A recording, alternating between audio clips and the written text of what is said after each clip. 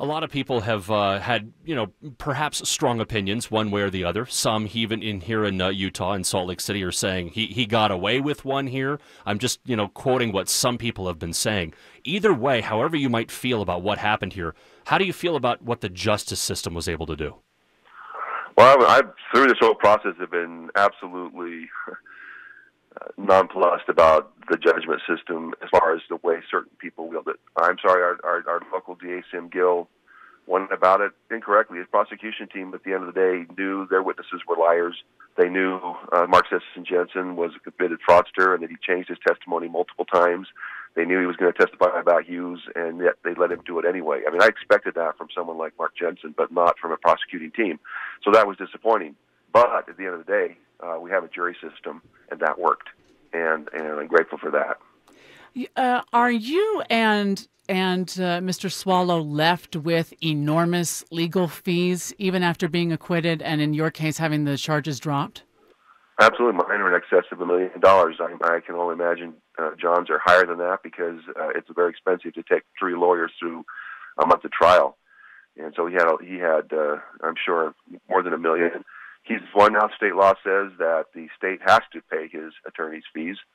In my case, they dismissed before the, the you know I got a chance to have a judge dismiss it or a jury acquit me. So uh, I'm out trying to find a way to, to have to put my life back together and pay those as well as uh, reestablish. I mean, you, you can only imagine what impact this last four years has had on attorneys. My John and I, our ability to maintain a living for our families, and uh, that's what happens when when things like this go go awry.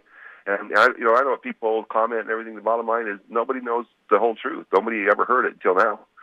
Uh, the jury heard it. They they heard both sides, uh, and so ultimately the, the truth will out. And I'm grateful for the media, you guys, and others who are going to let us, uh, you know, get the truth out there and answer people's questions. Yeah, Mark, I know it's it's obviously been a very very difficult time for both you and John here. Uh, but you know, as you, you, you kind of alluded to a little bit, looking back, I mean, this has been years in the process. Now we've been talking about this for for many many years, and you know, your guys, as both your careers here in the state of Utah, essentially were just done, just like that, like completely finished. So so how how are you supposed to try to get back onto the treadmill again and, and go out and, and, and make something happen for you and your family? Yeah, uh, someone once said, "Where do I go to apply now to get my reputation back?" Uh, because particularly today, with with you can't take back off off the internet for four years.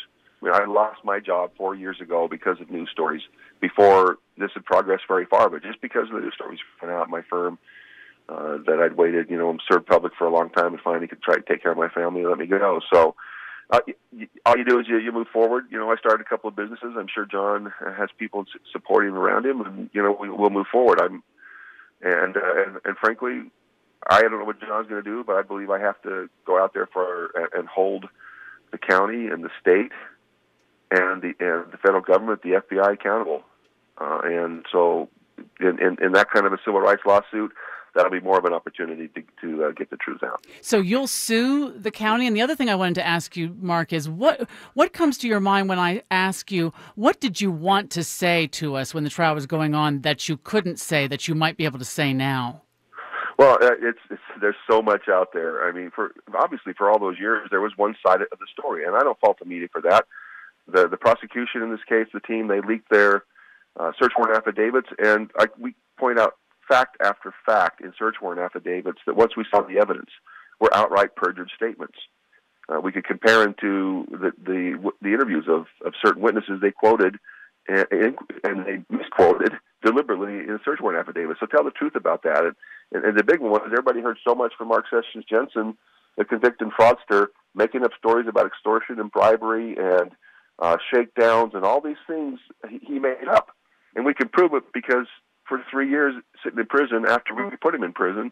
He didn't have any of that story. It all was made up after a phone call that he had with a City Weekly reporter, and I've got him on the jailhouse tape. I could play it for anybody. I may play it for Doug Wright today, saying, I am going to get vengeance.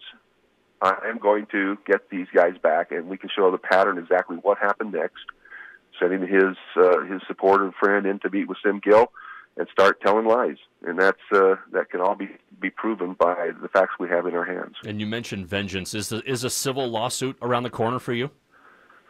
Uh, it is, and I I don't I don't I don't I don't feel vengeful, but I know what this did to me and my family. I mean, my I still have a traumatized daughter who had four officers with with vests and guns point guns at her in her bathroom and yell at her, and march her down the hall with their guns pointed at her.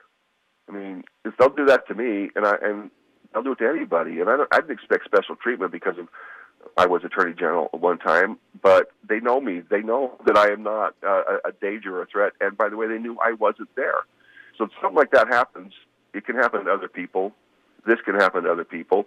And until you hold them accountable for it, it, it won't stop. So it's not about vengeance. It's about you know it's about justice at the end of the day and making sure things like this don't happen again.